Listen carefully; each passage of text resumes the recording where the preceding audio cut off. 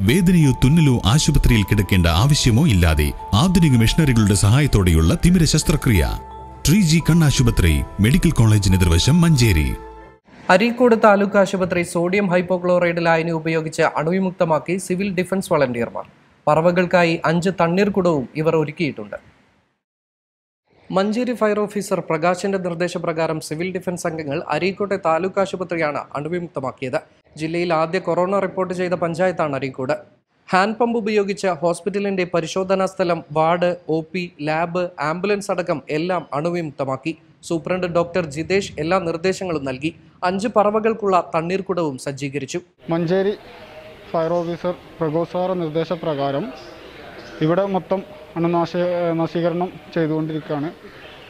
നമ്മൾ ചെയ്യാൻ ഉപയോഗിച്ച കെമിക്കൽ സോഡിയം ഹൈപ്പോ ക്ലോറൈഡാണ് അപ്പോൾ അതുപോലെ തന്നെ ഈ ഹോസ്പിറ്റലും ഹോസ്പിറ്റലിന്റെ പരിസരങ്ങളും മൊത്തം ശുചീകരിച്ചു. നമ്മൾ സിവിൽ ഡിഫൻസ് വളണ്ടിയേഴ്സും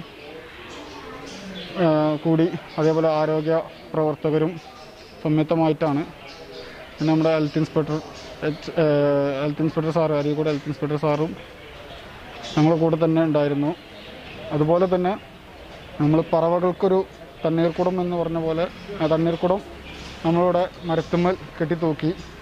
അത് വരും കാലം ഞങ്ങൾ തന്നെ അത് വെള്ളം കമ്മിയുണ്ടെങ്കിൽ പാർന്നു കൊടുക്കാനും മറ്റുള്ള ക്ലീനിങ്ങിനൊക്കെ ഞങ്ങൾ സിവിൽ ഡിഫൻസിന്റെ ആളുകൾ ഇവിടെ ഉണ്ടായിരിക്കുന്നതാണ്. കൊറോണ സ്ഥിരീകരിച്ച രോഗിയടക്കം പരിശോധനയ്ക്കെത്തിയ ഹോസ്പിറ്റലായിരുന്നു ഇത്. അരീക്കോട് പരിസര പ്രദേശത്തെ ഏതൊരു സേവന പ്രവർത്തനത്തിനും മുന്നിലുണ്ടാകുന്ന K Niyas T Muhammad A P Shafi P Ajith P Anil എന്നിവരാണ് സേവനത്തിന് നേതൃത്വം നൽകിയത്.